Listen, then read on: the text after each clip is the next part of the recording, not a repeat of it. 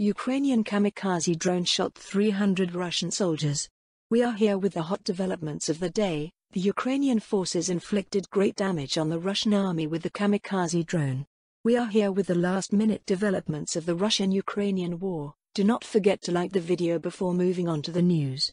The Ukrainian army continues its great efforts to prevent the attack of Russian soldiers. This situation caused the Russian army to have difficulties and to get angry. The Ukrainian forces, which did their best in this regard, caused the Russian army to suffer quite large losses.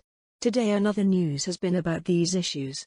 According to a breaking news today, Ukrainian forces have inflicted great damage on the Russian army with a kamikaze drone.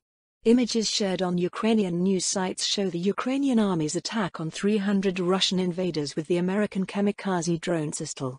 Ukrainian forces accurately hit the Russian military vehicle. You can express your thoughts about this topic in the comments section. Don't forget to subscribe to our channel for more breaking news.